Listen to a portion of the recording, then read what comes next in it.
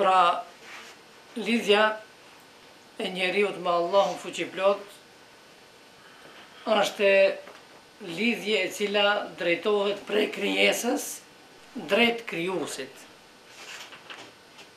Prandaj Islami me njeriun në fushën e të menduarit nuk ndalet te kjo gjithësi. Bile Islami kërkon edhe e stimulon, po ashtu edhe e orienton mendjen e njeriut vazhdimisht kah Krijuesi i gjithësisë. Gjithashtu, Islami nuk ndalet edhe në fushën e veprimit, apo në fushën e shfrytëzimit e të mirave të kësaj bote, por Islami vazhdimisht thërret dhe e kërkon që njeriu të aftësoje apo të mbërrijë deri te një ndjenjë Që të kese lidhje me Krijuesin e këtyre të mirave apo intereseve të kësaj bote, të cilat Allahu xhaleshanuhu ia ka mundësu njeriut që t'i shfrytëzojë ato, duke e ba edhe mëkëmbës në sipërfaqen e tokës. Pra, kjo lidhje e cila kërkohet që ne ta vëmë atë lidhje mes nesh dhe Allahut Fuqiplot, ështe zgjerim i horizontit, ështe lartësim, e cila përputhet me nderimin e njeriut që ia ka ba Allahu Xheleshanuhu njeriut. Pra Allahu Xheleshanuhu në Kuran thotë, Wa laqad karramna bani Adama, me të vërtetë ne e nderuam i nderuam bijtë e Ademit. E tash me çka?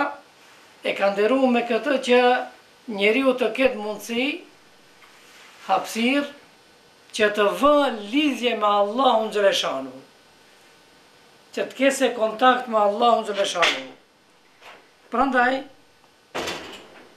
kufizimi i të menduarit mbrenda kornizave të kësaj gjithësie, apo të ndalurit stagnimi mbrenda kornizave të kësaj gjithësie, është mendjengushtësi, edhe është amullim. është bllokimi i mendjes.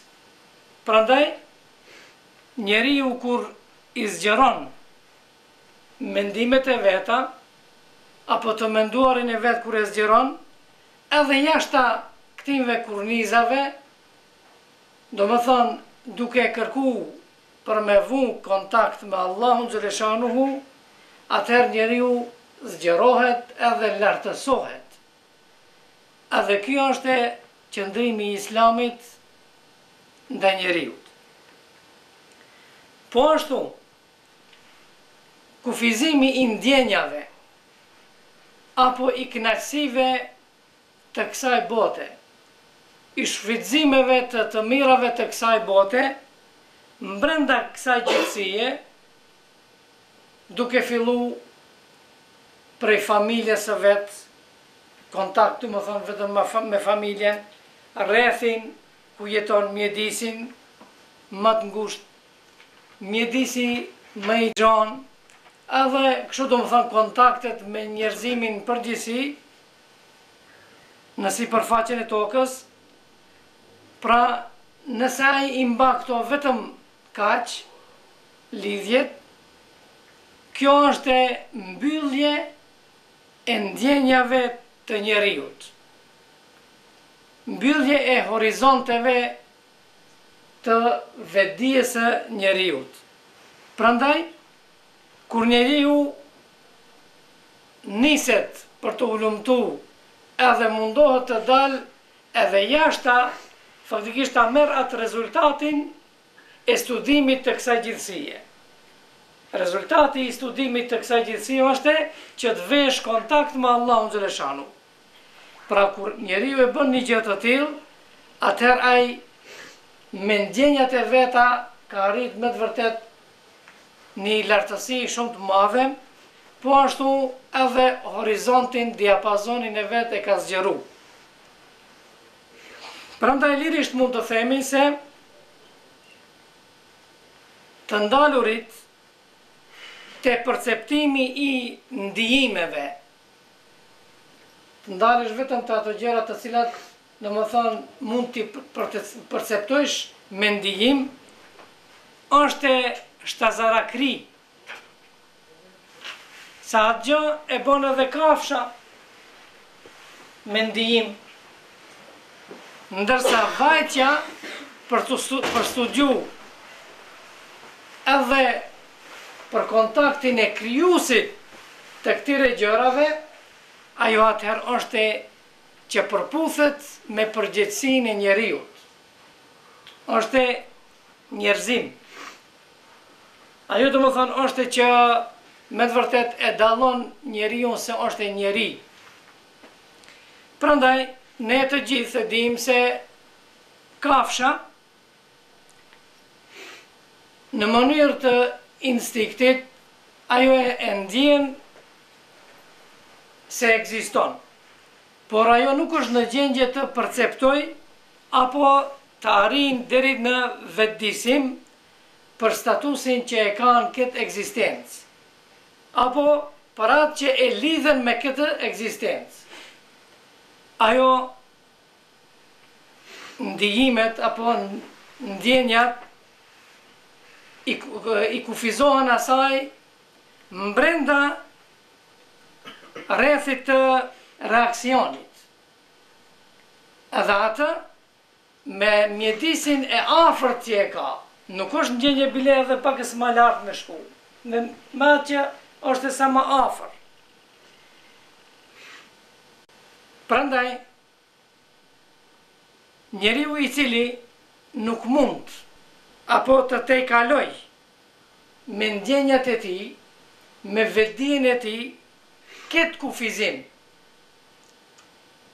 atëherë në mënyrë që për shembull me atë vetëdijen e tij ai të arrijë që ta kuptojë statusin e vet që e ka në këtë botë, ta kuptojë lidhmërinë me Krijuesin e kësaj bote, e kësaj gjithësie, atëherë lirisht mund të themi se ai njeri që nuk mund ta bëjë një gjë të tillë, po ndalet vetëm te mbrenda gjithësisë, ai njeri është i afërt me shtazët. I afërt me shtazët.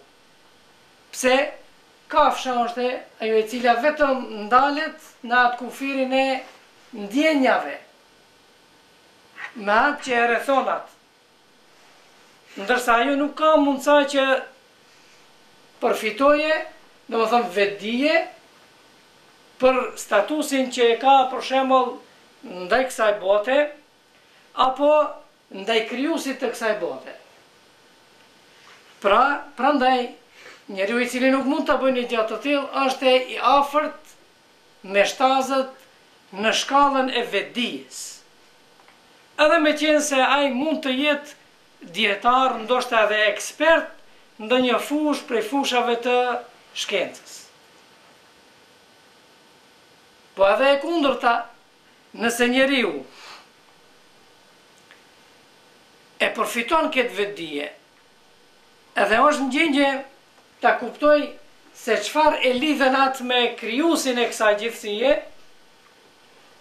domethënë vë lidhje mes vetes dhe Krijuesit kësaj gjithësie, atëherë ai është e i lartë, edhe ajo që përputhet me njeriun, po edhe me qenë se është i dijshëm edhe konsiderohet se është me vetëdije, ka vetëdije të lartë, edhe me qenë se ai mund të jetë prej analfabetëve.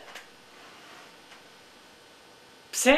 Se ai nuk është ndalë te ndijimet, Ai i ka kalu ato edhe ka vu lidhje me krijuesin e ndijimeve, me krijuesin e këtyne ligjeve që janë që e rrethojnë atë në këtë botë.